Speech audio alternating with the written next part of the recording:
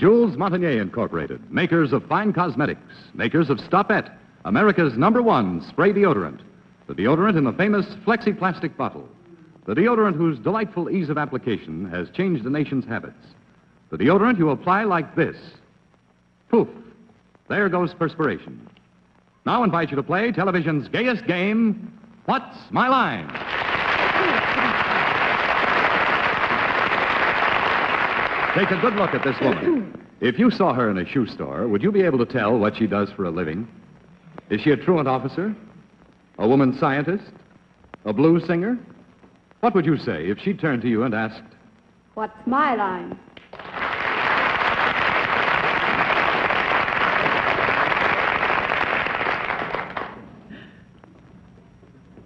Yes, it's What's My Line, where the experts are asked to guess the occupations of real people.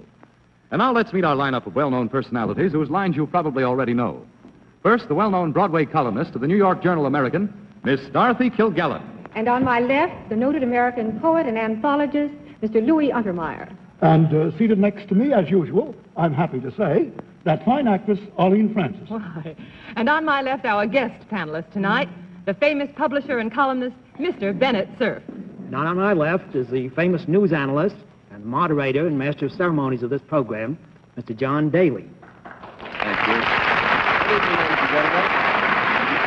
Welcome to What's My Line, presented by Stopette. Once again tonight, we're going to put our cameras close up on a few people from some varied and perhaps unexpected occupations, all of them here to give our members on the panel a run for the money, the money which they hope to take home with them as prize money. We'll also have a famous guest challenger before the panel a little bit later in the show, but now to start things rolling, it's time for the experts to meet our first challenger whose job they will have to spot. So will you sign in, please, sir?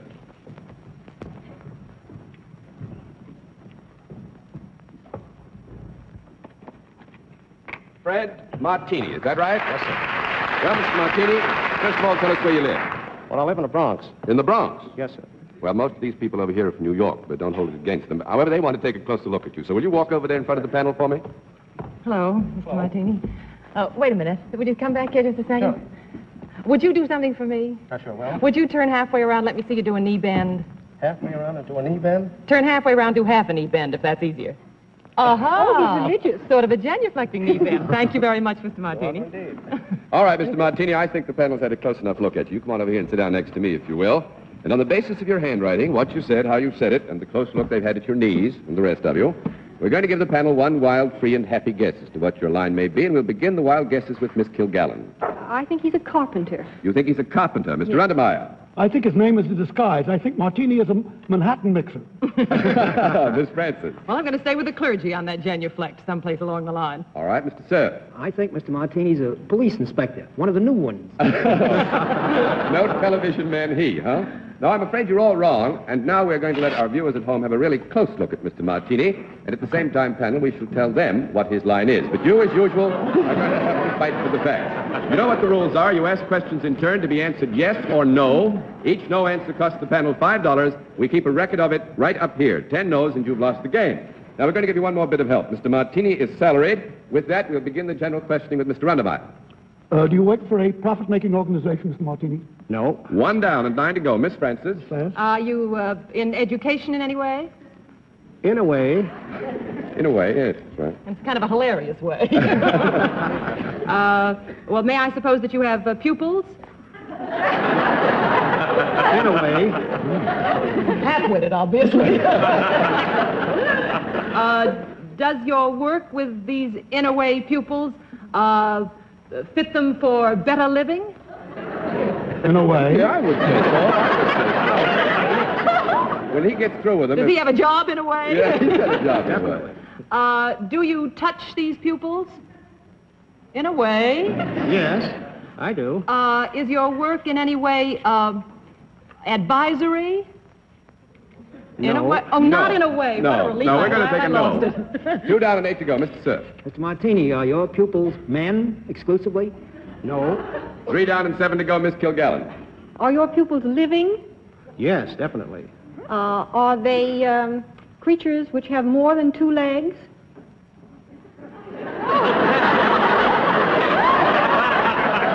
Four down and six to go. Mr. Untermeyer. I gather now they are two-legged creatures in a way, two-legged.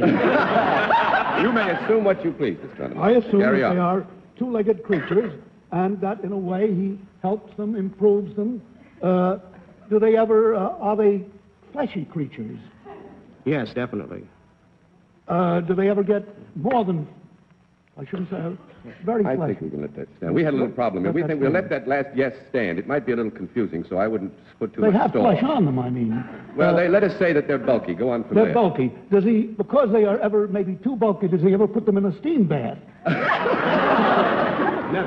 Five down, five May we to have a go. conference? Yes, you may have 20 Arlene, seconds let's for a find out conference. what They're they human are, for beings. heaven's sake. Let's find out if they're human beings and if Yes. they're children, maybe. Children is a good idea. Well, at least if they're human. I mean, found they'll be odd. children in a way, I feel sure of that. Charles Addams children. Are your pupils children? No. Six down and was four to pretty go, short, too, Mr. wasn't Cerf. Are your pupils human beings? No. Seven down and three to go, Miss Kilgallen. Are your pupils members of the animal kingdom, broadly speaking? Yes. Uh, they couldn't be fish. Um, Please think out loud, Miss Kilgallen. We missed that one. He said they couldn't be fish. I don't know why they couldn't. well, you say they are they are not generally more than two-legged. Uh, do they have legs at all? He hasn't looked down that far. Technical, isn't it? Well, you're the expert. You give the answer because I'm not an expert. Well, they're not called legs. Would you They're like what? to What withdraw did he that say? question? They're not, not called legs. legs. Oh, uh, are these things? Uh, do you want a conference? I have a tonight? hunch. Yes. Uh, something like mammals, let's say, as apart from other kinds of. What do you mean, well, like what a if they snake? were microscopic? There's been no request for a consultation panel. Go Well, ahead, there Miss was. I Kilgallen. thought I asked Louis if he wanted one. Leave me out. I'm the one who said what you said. Yeah, yeah, Go ahead. All right, I'll I'll throw this one away. Are are your um, uh, creatures, whatever they are, uh, could they be seen under a microscope? Uh, would you rephrase the question? I'll I'll just re-question. All right, you re-question. That's a little bit difficult because, uh, let us say, a portion of them might be put under a microscope. Uh, could you hold these things in your hand? No. Eight down and two to go. Mr. big. Untermeyer. Could you hold them in your lap? Yes. Are they pets? Not as we use the term pets. Nine down and one to go, Miss Francis. These uh, animals that have uh, uh, uh, something like legs, uh, are they ever in museums? Yes. Uh, are they an unusual animal? I don't think, not in the sense of being I mean, but they're not in everybody's home. They're not, well, all right, on that basis, you go ahead, Miss Francis. There, would they be animals? Thank you. Would they be animals that you might see in a zoo? Yes.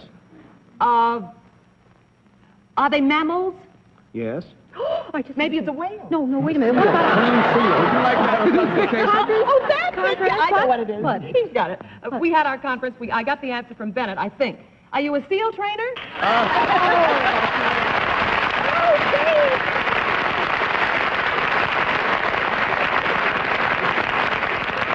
It's a program for flappers. Is that fun, training SEALs? Oh, Very much so. I was tempted all through, darling, to give you this, but I, I still object. I still think that they are pets. I've often wanted to have a seal in the bedroom. the kind Instead of of on your offense you keep, letterhead. Mr. Untermeyer, your business. But I must say congratulations to the panel, and congratulations to you, too, sir. You did very well with the prizes, and thanks for being our guest on What's My Line. All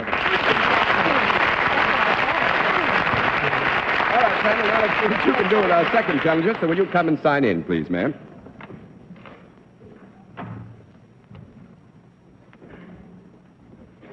Alice? Alice Matthews, is that right? Fine. Is it Miss? or Miss, Miss Matthews. Well, Miss Matthews, tell us first of all where you live. Chicago, Illinois. Chicago, Illinois. Hmm. Well, I got a panel over here. You've come a long way to see them, and they want to see you. So would you mind walking over in front of the panel? May I shake hands with you, Miss Matthews? This is how he makes friends and influences people. Read any good books lately? Anything you want to say? Mm, uh, could I see your ring, please? Rings. Rings, two Cool. rings. Yes, that's very interesting. All right, Thank Miss you very Matthews, much. you come on over here and sit down next to me. They've There are had two long rings and enough neither look one at of you. them- And on the basis of your handwriting, what you said, how you said it, the rings you have on your fingers, and the good close look they've had at you, we give them one wild, free, and happy guess as to what your line may be. And we'll begin the wild guesses as usual with Miss Kilgallen.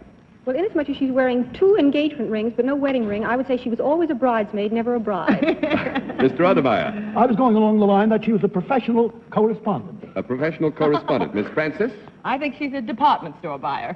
a department store buyer. Very good answer. Mr. Cerf, I think she's the principal of a school. Principal of a school. No, I'm afraid you're wish wrong. you'd gone there. So now we're going to let our viewers at home have a really close look at Miss Matthews, and at the same time, panel, of course, we shall tell our viewers what Miss Matthews' line is. You've got to have to dig for facts as usual, ask questions in turn, to be yes or no answers. No answers cost you five dollars. We keep a record of it right up here, and when there are ten no answers, each at five dollars, then you have lost the game. We'll give you one more bit of help. Miss Matthews is salaried. With that, we'll begin the general questioning with Miss Kilgallen. Uh, do you work for a profit-making organization? Yes. Is it a private organization? Yes. Uh, is it what would be considered business? Yes. Um, do you uh, come in contact with the public in this work? Uh, that's difficult to answer because she comes in contact with the public in the sense that uh, she will meet people, as we all invariably do. If you mean it in the general sense of large bodies of the public, we'd have to answer the question no. Is that no, what you meant? no, I don't want you to answer No, I didn't mean you meant that. so you go ahead, Mr. She occasionally comes in contact with people. Yes. Uh, do you sell services? Yes. Uh, is there a product in connection with your services? Yes. I like the way she keeps looking at John. Well, we're, just, we're just trying not to mislead you. There is a Yes. product, but its, its relationship is indirect. I see. Uh, does your work take you from place to place? In some instances. Slightly. Uh, do you deal with both men and women, whatever your service is? Does that apply to both men and women? Um, I pass. All right, Mr. Untermeyer. Is your work advisory? You give advice, or is advice asked of you? You guide, counsel, befriend. I think you've messed that up sufficiently, so you can get a nice no. Now, one down and nine to go. Miss Francis. Well, you sort of gave me a long, warm look when I said department store buyer. So I'm going to ask you if the products and the services that you deal with have anything to do with a department store. Yes. Uh, do you uh, uh, do you buy as well as sell these products? Well, now you're assuming something. Oh, you I want to make the first part of the so. question? No. She deals with Oh, products. deals. Deals. Do you? thank you. Uh, are you in some way a buyer for a department store, or are you a buyer? Yes. I figured she didn't have anything to do with that department store. Got out of that in a hurry. Now you have to tell us what Are you these buy. products something that uh, uh, are used, uh, uh, uh, something that you might put on? Colloquially, yes. Uh, well, would it have anything to do with cosmetics? You're a cosmetic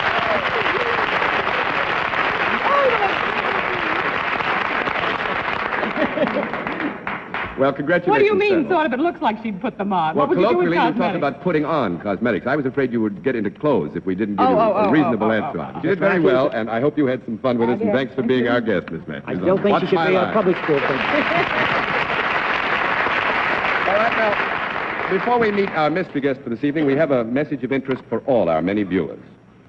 And now we come to the regular special feature of our show, the appearance of our mystery celebrity. And because our experts over here would recognize our famous guest on sight, we've provided them with blindfolds for this special test in personality identification. So get the blinders on, panel. Now, in this particular case, it's not so much what's my line as who is it? A challenge once again for the ingenuity and the perceptive talents of our panel. Are all the blindfolds in place? Right. Good. Will you come in, mystery challenger, and sign in, please?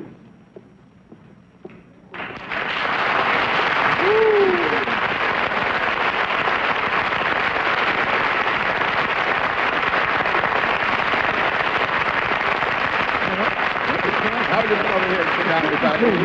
Judy Brown. Captain McArthur. All right, panel. As you know, in the case of our mystery celebrity, we dispense with the usual amenities and get right down to the general questioning, and so we'll begin that general questioning with Miss Francis.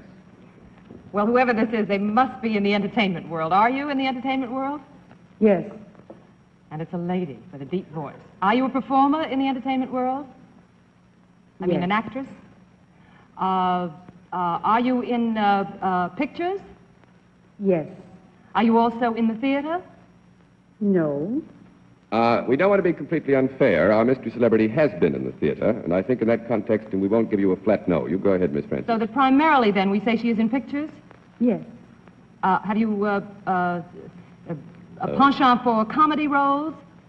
Hmm. Oh, no, sexy roles. number 12. Some of that, mm. Well, our mystery celebrity has said she has, so you go ahead, Miss Francie. I pass. You pass, Mr. Cerf. Do you sing in any of these pictures that you make? Yes.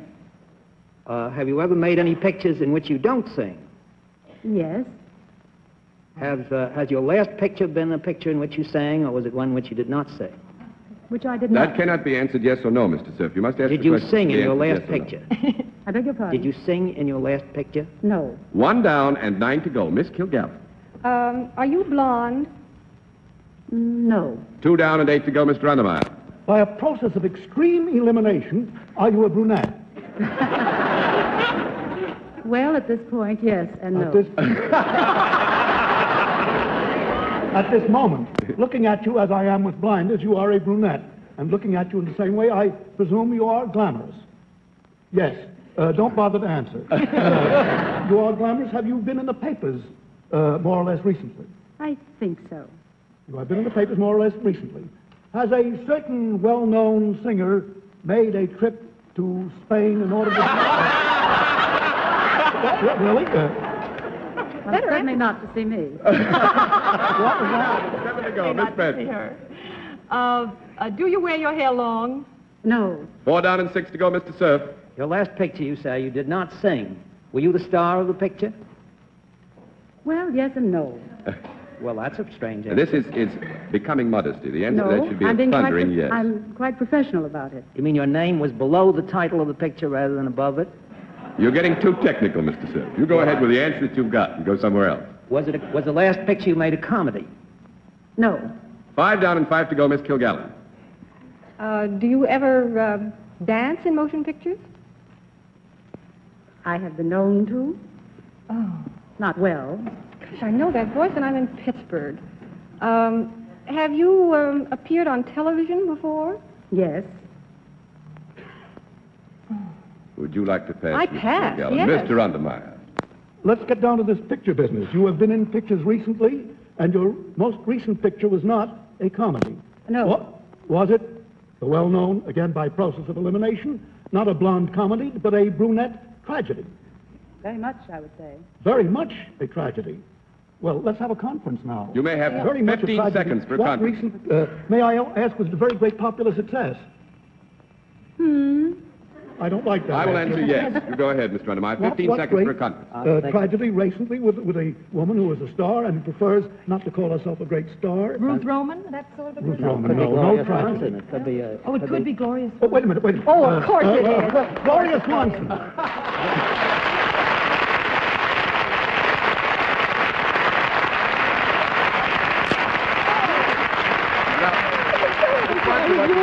First of all, I understand you're going to have your own radio program soon. Is that right? Yes, two weeks from uh, tomorrow. Oh, wonderful. Well, very we should, we excited should all it. watch for it. Now, before you go, Miss Swanson, we have something for you.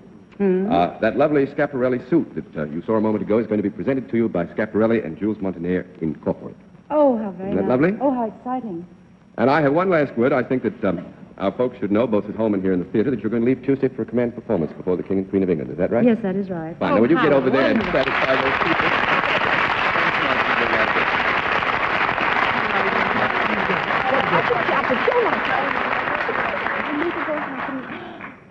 I knew the voice and I couldn't place it. I knew if I said one thing to you, you'd understand. And here's your bag, and thanks very much for being our guest on Thank What's My Line. Good night.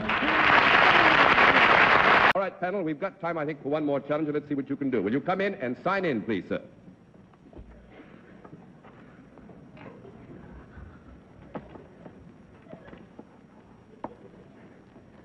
Edwin S. Lurie, is that right? Fine. Well, tell us first of all where you live. Mr. New York City. Another New Yorker. Fine. Well, now we don't have too much time left, so will you walk down in front of the panel so they can get a close look at you, please? May I see that? Uh, may you see, Dorothy? Uh, uh, Ollie, uh, that all right. uh, The thing in his insignia on lapel, your the insignia, says what? American What is it? Legion. American Legion. American- 40 and 8. Very 40 and revealing. All right, Mr. Lurie, I'm you come right back here. I Haven't got enough time for another look. You come over here and sit down next to me. Now, on the basis of your handwriting, what you said, how you said it, and that quick look they had at you, we give the panel a wild guess as to what your line may be. We'll begin the wild guesses with Miss Kilgallen. I, I think he runs a pari-mutuel machine. A very neutral. Mr. Untermeyer. Mr. Lurie is a clown in a flea circus. Miss Francis. He's a diamond cutter. A diamond cutter, Mr. Cerf. For some hair-raising job, I would say trying out jet pilots. no, I'm afraid you're all wrong. And now we'll let our viewers at home have a really close look at Mr. Lurie. Same time panel, we shall tell them what his line is. You'll have to dig for facts. You know the rules. You ask questions in turn to be answered yes or no. Each no answer costs the panel $5, and we keep a record of the no answers up here. When you have lost 10 times, you have lost the game. Give you one more bit of help. Mr. Lurie is self-employed. With that, we'll begin the general questioning with Mr. Untermeyer. All right, I'm going to take a wild chance. Mr. Lurie, is your work dangerous? No. One down and nine to go. We have less than two minutes to go. Miss Francis. Is your work uh, along the line of service? Yes. Uh, you do not deal in products then? No. No. Uh, do you uh, uh, work That in got one you a place? no answer, but we won't let it count. Yeah, I was don't going to go over it very looking. quickly. I'm yes, not you a go ahead. Uh, do you work in one place? No. No. Two down and eight to go, Mr. Cerf. Do you work in the homes of your customers? No. Three down and seven to go, Miss Kilgallen. Uh, is what you service inanimate? Yes. Uh, would it be likely that you would be requested to service this thing by men as well as women? Yes. Um, and you go from place to place in order to do this? Yes. Do you touch what you service with your hands? Yes. Mr. Daly looks rather Well, that's what you aghast do. It's, at it's a technicality which I'm sure you will not wish to kick my brains in for after the program is over. Go ahead, Miss Kilgallen. Um, do you uh, do you consider this work um, uh, as something that would require a certain special ability? Yes. Uh, everyone couldn't do this. I mean, yes, uh, it's true that everyone couldn't do No, this. everyone couldn't. Miss Darley, we've got about 40 seconds Well, to I'll go. pass Mr. Untermeyer. Mr. then. Untermeyer? loaded with ideas. Do you any, do anything like renovating or repairing or doing something over? No. Four down and six to go, Miss Francis. Do you use a large machine to do what you do? No. Five down and five to go, Mr. Cerf. Have Cerf. you anything to do with entertainment of any sort? No. Six down and four to go, Miss Uh, Kilgallen. what you do is practical. No. Uh, I'd call it Its end is practical. practical, yes. You have Uh, 15 is what you seconds. perform upon a luxury? No, not a luxury. Seven down and three to go, Mr. Is Untermeyer. it a necessity? Uh, it might be considered a It might be necessity. considered. And I It's think that's a good that's a good point to leave it. By default, Mr. Lurie wins. He is a tea taster panel. Oh! And thanks very much for being our guest on What's My Line, Mr. Lurie. Good night. Now, in just a moment, ladies and gentlemen, we're going to give you a preview look at a picture of one of the challengers whose line our panel will be asked to try and identify on our next program. This coming Sunday night here in New York, our panel of experts will be asked, What's my line by this young lady? Would you know what her occupation is? Could you spot her line? Well, for the answer to this and other personality puzzles, be sure to tune in again when Stopette invites you to play What's My Line? And don't forget our new day and time, this coming Sunday and every Sunday from now on at 10.30 p.m. Eastern Standard Time. For other localities, check your newspaper for the date and the time of our new weekly series. And until then, this is John Daly saying good night, Dorothy. Good night, Louis. Good night, Arlene. Good night, Bennett. Good night, John. And good night, ladies and gentlemen, and thanks for being with us on What's My Line? Hello, I'm Fred Roggin. Hi, and I'm Heidi Bohay. Join us for GSN Live. Instant Winners Classic Shows. It's GSN Live, weekdays starting at noon Eastern, 9 Pacific.